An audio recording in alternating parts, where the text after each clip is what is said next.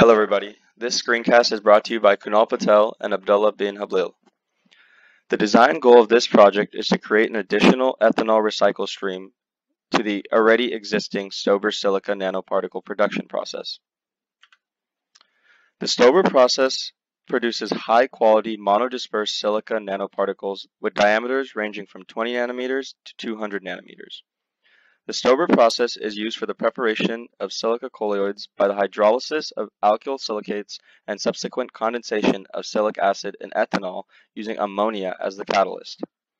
The starting reagents in this reaction are tetraethyl orthosilicate or TEOS, ammonia, ethanol, and water. The applications. Many research groups have applied monodispersed silica colloids as model material in various applications. For example, they have been used as packaging material for the capillary chromatography. There have also been more recent investigations on using these particles to fabricate photonic crystals of 3D periodic structure. The particles have also been used in the medical field. Biomedical and biotechnological applications such as cancer therapy, DNA transfection, drug delivery, and enzyme immobilization have all benefited from these colloid particles. The product has also been used in a lot of cosmetics and beauty products. Some of the design constraints. Various uses of silica nanoparticles require specific particle sizes with a very narrow distribution. The concentration of TEOS and ammonia both affect the size of the particles. Increasing the concentration of either of these reagents increases the rate of hydrolysis and condensation. The rapid hydrolysis will increase the intermediate concentration until it reaches the supersaturated region. The consumption rate of the intermediate through the condensation is also sped up, which shortens the nucleation period. In short, this means that the total number of nuclei formed will be less, and thus the final particle size will be greater. The current process. The issue with the current process is that it produces a waste stream that contains roughly 85% ethanol according to sources. The remaining waste is ammonia and water. Ethanol is by far the most expensive waste product, so recycling it could potentially save a lot of money that would otherwise be wasted by dumping the waste stream out. One thing to note though is that the ethanol recycle stream cannot have any ammonia. This is because ammonia affects the size of silica beads, so if we do not get rid of the stream of all ammonia, it may alter the size of the silica beads. the input-output diagrams. The input-output diagram on the left is the Stober process without the recycle stream. The inputs of TEOS, ammonia, water, and ethanol are shown. The products are silica nanoparticles, ammonia, water, and ethanol. As we will see in the process flow diagram, the, TE, the silica nanoparticles will be completely separated from the ethanol, ammonia, water waste stream. An assumption made in this process is that all the TEOS is used up in the reaction. The input-output diagram on the right is the Stober process with our added recycle stream. The Stober process is unaffected by the addition of the recycle stream as long as the ammonia is completely removed before recycling the ethanol back into the process. When doing our economic analysis, we can simply focus on the amount of ethanol that is recycled. This will give us the dollar amount that would be saved if adding the recycle stream. The process flow diagram. Our process flow diagram consists of a single distillation column that will theoretically create an ethanol stream with close to 100% purity. The ethanol ammonia water waste stream is sent into the tray distillation column and the ethanol is separated from the ammonia. The ethanol water product stream is sent back into the Stober process to be reused. The ammonia water waste stream is sent out uh, here it is assumed that all TEOS is converted into the SNPs and that the SNPs are completely separated from the ammonia ethanol water waste stream. It is also assumed that the ammonia is completely separated from the ethanol. A more in-depth analysis would have to be done on Aspen to determine the number of stages, the reflux ratio, and the purity of the ethanol stream.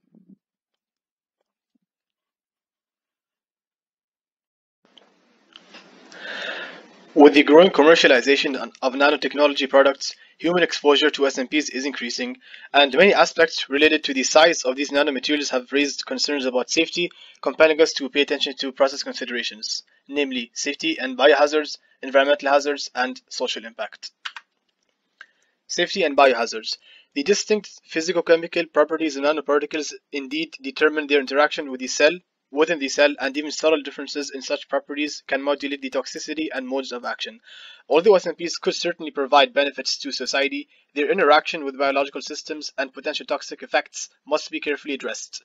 Toxicological research into silica particles has found that the typical lung reaction induced by chronic inhalation of crystalline silica is silicosis, a generally progressive fibrotic lung disease exemplified by the development of silicotic nodules composed of silica particles surrounded by whorled collagen in concentric layers with macrophages, lymphocytes, and fibroblasts in the periphery. This concludes our discussion on biohazards generated by the production of SNPs. Environmental hazards. Moving on to another hazard that is based that is posed by our project, we will discuss some environmental hazards that ought to be considered when collecting ammonia from the waste stream after recycling ethanol and purifying it from ammonia to reuse the recycled ethanol for the Stober process. The main local problem of ammonia released into air is the unpleasant odor, which is detectable even at low concentrations. At particularly high concentrations, it can also harm vegetation. The harm caused by ammonia in water bodies is more serious because it is very toxic to aquatic organisms. On a wider scale, ammonia plays a role in the transportation and enhanced deposition of acidic pollutants, resulting in acidification of ground and water bodies, which can harm plant and animal life. Social impacts. Finally, we conclude the process consideration section with the social impact our proposed project poses, namely the implications of SNP development research on society. As stated, SNPs are produced through various processes for vast biomedical purposes. This also includes cosmetics. The production of modified SNPs, which could be used to improve cosmetic and beauty products, could impact society by altering beauty standards through advertisements on social media and celebrity consumers. Go ahead. Sources show that producing 10 kilograms of silica nanoparticles per day produces 34.2 liters of waste per day. Roughly 92% of this waste will be ethanol by mass. If assuming the plant is active 333 days a year, the total cost of the ethanol comes out to be a little over a million dollars. This is assuming that 100% of the ethanol is recycled back into the Stober process. With this value, the break-even capital investment will be a little over $10 million if assuming that the ROI is 10%. The nanosilica market. The nanosilica market has been rising due to the demand from the rubber industry and the concrete industry. The global market is expected to reach $5,140 million by 2025. Even though strict regulation is expected to limit the use of nanosilica particles. Under the Article 13 of the European Commission, cosmetic products that contain nanomaterials shall be notified six months before the product is launched. Furthermore, the, according to the EU Commission number 1223, usage in cosmetics over specified limits may be harmful to the human body. In spite these strict regulations, the use of nanosilica will continue to increase.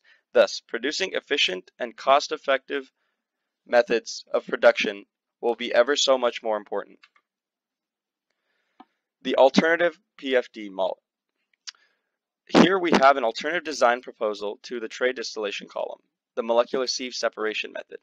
Molecular sieves are absorbent materials typically used in the petrochemical industry to purify natural gas streams from impurities. They separate components based on the molecular size of each component. Ethanol is the biggest molecule with a molecular size of 4.4 angstroms. Water and ethanol are 2.75 and 1.145 angstroms each. Thus, we propose using a 4 angstrom molecular sieve to separate the ethanol from the other two compounds. The high adsorbity of the sieves suggests that ethanol can potentially be completely purified with this process. The two co packed columns filled with 4 angstrom molecular sieves are shown. One of the columns is an adsorber and the other is a regenerator. The columns will switch roles when one gets saturated and the other capacity is replenished. This allows a continuous process to be developed. The nitrogen gas is pressurized and heated to regenerate the molecular sieve. A capital cost analysis on the materials as well as the sieve is needed to determine if this option is viable. Even if the distillation method is cheaper, is a cheaper solution, both the distillation and the molecular sieve methods should be further explored. Specifically, the ethanol purity rates from both me methods should be determined. Even if one method is cheaper than the other, the cheaper method might not be viable if all of the ammonia is not removed with that method. Our final conclusions and recommendations. Based on the input-output analysis, it is recommended to further investigate the capital costs to add the recycle unit to the Stober process. The project shows promise considering that it produces over $1 million in saved value. The environmental damage, though, caused by ammonia is a concern, and proper neutralization methods should be investigated. It is also recommended to explore the capital costs of the molecular sieve method. A proper input-output analysis needs to be done, and the cheaper sources of nitrogen gas need to be found. Run Aspen simulations on both designs and determine which simulation process produces higher purity ethanol and lower energy consumption. From this, you'll be able to decide which method to use. Finally, a recommendation for the marketing team. Focus on marketing products to research-based companies rather than product-based companies due to the strict regulations on the use of consumer products.